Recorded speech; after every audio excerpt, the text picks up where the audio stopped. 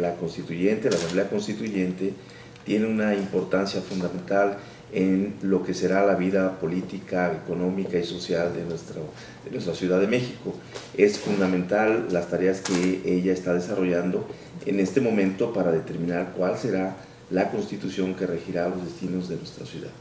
Nosotros desde el Instituto Electoral hemos buscado participación sobre los temas principalmente que tienen competencia con este órgano electoral, de tal suerte que frente a la propuesta que se tiene de la disminución de la edad, por ejemplo, a 16 años para poder votar, hemos organizado una serie de foros con miras a proponer y desde luego a poner a disposición de la constituyente todos los elementos técnicos que arrojaron tanto un foro específico en el que especialistas tanto nacionales como internacionales, expusieron qué puede ocurrir en el caso de que efectivamente se dé esta disminución de edad para votar. Este tipo de foros también se han replicado en otras materias como son la parte de los elementos técnicos que se precisan para una división geográfica en las demarcaciones territoriales. Como sabemos, hoy día tenemos 16 delegaciones políticas, la constitución, eh, la reforma constitucional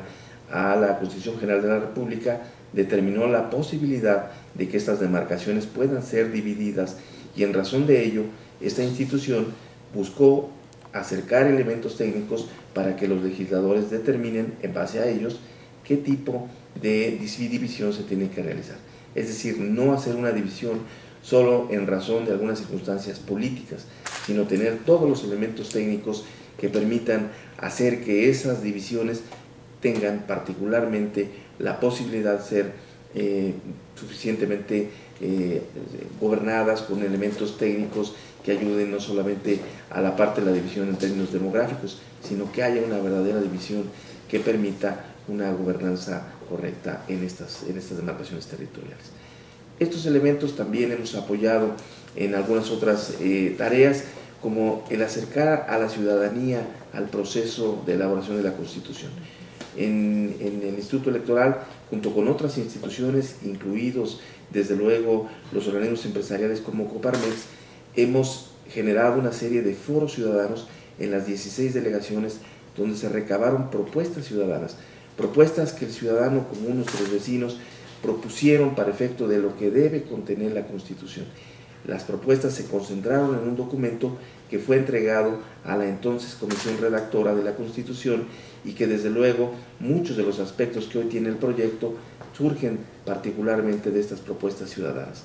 Hoy día en el Instituto Electoral de igual manera hemos determinado en el Consejo General la posibilidad de generar una comisión especial para que desde luego tenga una comunicación directa con la Asamblea Constituyente y de esa manera también acercar algunos otros elementos que de la experiencia propia de la institución puedan ayudar al diseño de lo que será el sistema electoral de la ciudad, desde luego atendiendo al sistema nacional electoral, que es desde luego el rector de lo que hoy tenemos en nuestro país. Desde esta perspectiva, digo, a pesar de este trabajo que están haciendo, no em, o no se registró una participación ciudadana abundante. ¿A qué cree que se deba y por qué está este, em, digamos, esta separación entre la creación de un constituyente y la lejanía por parte de la ciudadanía? Yo creo que hubo muchos factores en, lo que se denominó baja participación en la elección de los eh, diputados a la Asamblea Constituyente. En principio fue una elección novedosa, algo que no había ocurrido en nuestra ciudad y recordando un poco, en el mes de junio de 2015 habíamos ya electo a diputados a la Asamblea Legislativa. Luego entonces, pues una nueva elección para diputados a una asamblea constituyente precisaba de una mayor información hacia la ciudadanía para que se entendiera este proceso y desde luego hubiese una mayor participación. Los institutos electorales, tanto el nacional que tenía bajo su responsabilidad la organización de esta elección, hizo su esfuerzo de comunicar, nosotros apoyamos a través de un convenio de colaboración que se suscribe con el propio Instituto Nacional para apoyar el esfuerzo de comunicación hacia la ciudadanía, hacia los habitantes de esta ciudad para que conocieran este proceso de elección de los 60 integrantes de la Asamblea Constituyente. Los esfuerzos se hicieron, pero hubo algunos aspectos importantes que hay que destacar. Por ejemplo, medios de comunicación masiva que desde luego eh, tienen un papel fundamental en estas tareas, pues le dieron muy poco espacio en sus programas y de esa manera pues no hubo la oportunidad de que un número mayor de ciudadanas y ciudadanos conocieran este proceso y desde luego participaran. La votación que se dio, el porcentaje, no es tan malo pensando en que otros instrumentos de participación ciudadana han tenido una participación mucho menor. Tenemos una reciente experiencia en la elección de comités ciudadanos donde alcanzamos apenas el 12% frente al 28% que se dio en la elección de la Asamblea Constituyente. Sin duda es una baja participación porque todos desde las instituciones electorales quisiéramos que hubiera una participación del 100%, pero lamentablemente hay, reitero, muchos factores, entre ellos también la, eh, el corto tiempo que se tuvo para efectos de organizar este proceso electoral, dado que recordando, enero fue la reforma y tuvimos eh, cuatro meses escasamente para difundir, organizar y desde luego hacer eh, que la ciudadanía se interesara en este proceso. Me parece que hoy día, con la conformación que se da de la Asamblea Constituyente, específicamente en el ingrediente que se tuvo de una designación directa del presidente de la República, del jefe de gobierno, de los propios órganos legislativos federales y la elección de los 60 permitió de alguna manera una integración plural. Esto, si, si bien es cierto en términos de lo que pudiera ser una asamblea constituyente en otras latitudes, en nuestro propio país,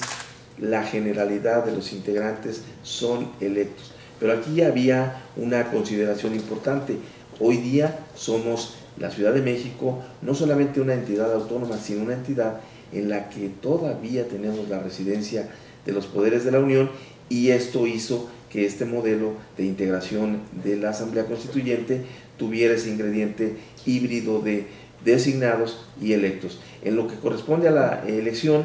recordemos que hubo una integración de los 60 muy eh, en términos de lo que la geografía política de la ciudad tiene. Tenemos un número eh, del partido político Morena y del PRD, que son los que tuvieron la mayoría de los espacios, la mayoría de las curules en esta Asamblea Constituyente, y desde luego eso permite evidenciar que hay una representatividad de los grupos políticos que tienen mayor relevancia en esta ciudad. Ok, a partir de esto, eh, digo, la desconfianza finalmente que tiene el, ciudadano común hacia los institutos políticos, ¿nos lleva a que sea un contrasentido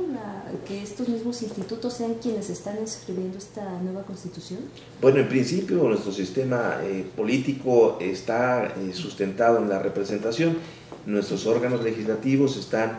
particularmente integrados por ciudadanos que tomaron en los votos de, los, de, sus, de sus conciudadanos la representación. Entonces, si bien es cierto que estamos en una circunstancia de desconfianza, no solamente hacia los partidos políticos, sino a nivel institucional, me parece que el modelo que hoy tenemos es el que determinó que esta Asamblea Constituyente fuera integrada por ciudadanos. Recordemos que en el modelo también hubo la posibilidad de el registro de candidatos independientes, que evidentemente daba la oportunidad a un ciudadano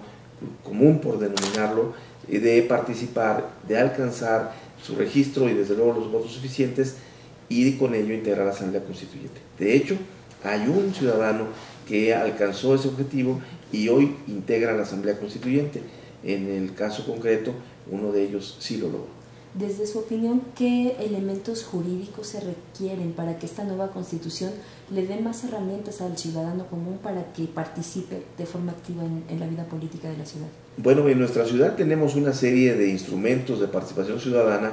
que han empezado, empezado a cobrar carta de naturalización. Hoy día en la ley de participación ciudadana tenemos diversos instrumentos que ya empiezan a tomar relevancia en el ejercicio mismo de ellos. En fechas pasadas tuvimos la elección de comités ciudadanos y consejos de los pueblos, son órganos eminentemente vecinales que atienden a esta dinámica de una participación directa de los vecinos. Otro proceso, eh, pues propiamente ciudadano, es la consulta sobre presupuesto ciudadano, donde las y los ciudadanos de la ciudad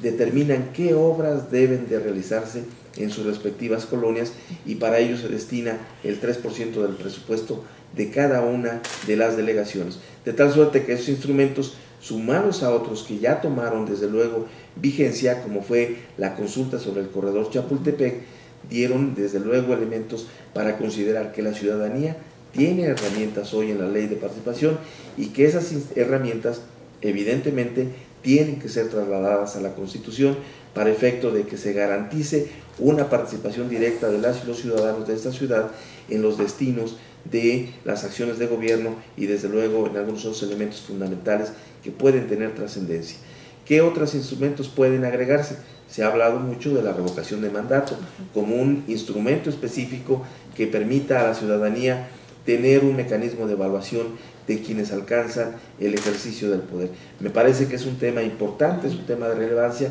que permitiría por primera vez en nuestra ciudad y en nuestro país contar con un instrumento que verdaderamente pueda poner en relieve el trabajo de quien gobierna y de esa manera el ciudadano tener un instrumento de evaluación y para el caso de una evaluación negativa, pues dar por concluida el ejercicio de la función de quien no alcance el estándar por lo menos que fije la propia sociedad. Ok, además de estos dos elementos, el referéndum y, y la revocación de mandato, ¿estarían apostando por algún otro elemento o qué más necesitaría esta constitución para lograr me parece que, usted lo ha dicho, el, el, referéndum es un instrumento importante que debe de consignarse también en nuestra constitución y a lo mejor un poco me adelantaría a señalar que la propia constitución de alguna manera debiera en términos de lo que la propia asamblea constituyente determine ser sujeta del referéndum. El referéndum tiene un elemento, un ingrediente fundamental que permite que la legislación que emite el órgano constitucionalmente eh, eh, eh, facultado para ello, pueda ser objeto del aval ciudadano a través de ponerlo a consideración de todas y todos los ciudadanos y con base en la respuesta de ellos determinar si eso que se aprobó como norma jurídica que será aplicable tiene la legitimidad suficiente para que pueda ser aplicada. En el caso concreto, en la Constitución, la reforma de la Constitución General de la República, cuando determinó la emisión de la Constitución de la Ciudad de México, no se precisó si habría o no referéndum de esta y me parece que ahora pues será la Asamblea Constituyente la que tenga la oportunidad de determinar si la Constitución que aprueben ellos pueda ser sujeta de referéndum. Estaremos sin duda dando seguimiento a los debates, a las propuestas que en el seno de la Asamblea Constituyente se den y en razón de ello, pues estar de alguna manera atentos por si se llega a concretar la posibilidad de que la Constitución sea sometida a un referéndum de la población de esta ciudad. Necesariamente habrá que establecer reglas específicas para que no sea justamente lo que usted señala. Me parece muy importante que este tipo de instrumentos de participación no se tomen a la ligera, sino que verdaderamente se les dé el peso suficiente estableciendo los requisitos para su procedencia, las materias en que proceden y desde luego las eh, consideraciones de las consecuencias de una votación en tal o cual dimensión para efecto de su eficacia en razón de que puedan ser vinculatorias o no. Si se alcanza un resultado, con una votación N pueden ser o deben ser vinculatorias. Si no alcanzan ese resultado, evidentemente no tienen la, eh, suficiente, el suficiente apoyo ciudadano y obviamente no podrían ser vinculatorios en todo caso. Bueno, en principio nosotros estamos proponiendo una eh, comisión eh, que permita tener esta comunicación con la Asamblea Constituyente. Fue a propuesta de los partidos políticos que se abriera este canal de comunicación desde luego un, mecanismo formal de comunicación que permita acercar en principio todas las opiniones, tanto de quienes colaboramos en esta institución, las representaciones de partidos políticos, grupos de la sociedad civil, que se acerquen con nosotros y que permitan de alguna manera concentrar en documentos específicos o en propuestas que acercaríamos a la Asamblea Constituyente. Nuestra tarea, particularmente en este caso, es buscar eh, compilar o agregar elementos o insumos que les permitan a los diputados y diputadas de la Asamblea Constituyente tomar decisiones sobre los temas que están en la Constitución. Esa sería la función de la comisión. Quisimos que fuera una, mejor dicho, está la propuesta de que sea una comisión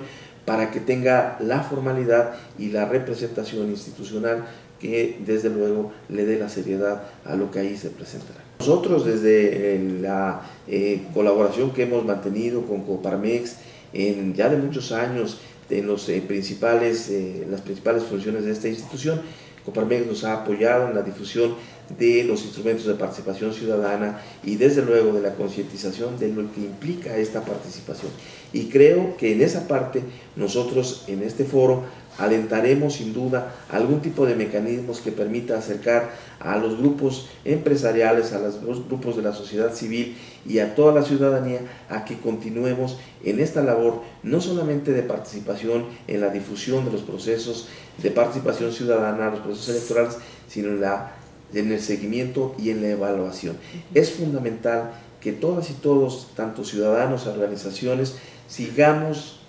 y demos continuidad a lo que ya decidimos. Es decir, si tomamos decisión por un proyecto del presupuesto participativo, debemos ver que éste alcance su objetivo, es decir, que vayamos hasta la última instancia, hasta el momento en que se entregue la obra, el servicio o lo que se haya determinado desde la ciudadanía. Es muy importante. En los temas de los procesos electorales, como sabemos, hay una plataforma sobre la cual los partidos políticos y candidatos expresan qué, qué, forma de gobierno tendrán, cuáles son los proyectos que tienen en el caso de alcanzar el objetivo de ser los titulares de los órganos de gobierno. Y nosotros como sociedad y desde luego buscar que las organizaciones como Coparmex le den seguimiento a esas plataformas políticas. Es decir, ofreciste en tu campaña este tipo de gobierno, vamos revisando si efectivamente se está cumpliendo con esa plataforma que diste. Creo que este, esto nos permitirá a la sociedad de nuestra eh, capital tener elementos para en su oportunidad hacer señalamientos si hay o no hay un buen gobierno, porque hoy puede ser una tarea subjetiva, alguien puede estar afirmando que no se cumple con lo que se ofreció, pero para algunos otros tal vez sí se esté cumpliendo. Me parece que sí tenemos que tener elementos objetivos que permitan hacer un análisis de la tarea de gobierno a la luz de lo que se ofreció y desde luego de eh, las circunstancias o las eh, cuestiones de coyuntura que se vayan presentando. Pero sí me parece que debemos sistematizar y tener elementos que objetivicen este tipo de análisis que hoy es muy importante para poder determinar a la luz de la posibilidad de que exista revocación de mandato, el tener elementos que permitan sí tener una evaluación objetiva, reitero, de, los, eh, de las formas de gobernar. ¿Y cuál es su perspectiva? ¿Consideran que sí se lograrán filtrar este tipo de mecanismos? Me parece que son eh, instrumentos que están ya en, en, el pensamiento no solamente de legisladores, sino de la propia sociedad, de tal suerte que sería un gran avance y desde luego un elemento fundamental para que, como siempre, la Ciudad de México se destaque y sigamos en esta senda de ser una ciudad de vanguardia, en el sentido de que aquí en esta ciudad han surgido una serie de derechos hacia sectores de la población, se han garantizado otro tipo de libertades y me parece que este tipo de instrumentos de participación ciudadana contribuiría a ese, eh, esos mecanismos que permitan tener gobiernos sólidos, gobiernos que verdaderamente representen los intereses sociales.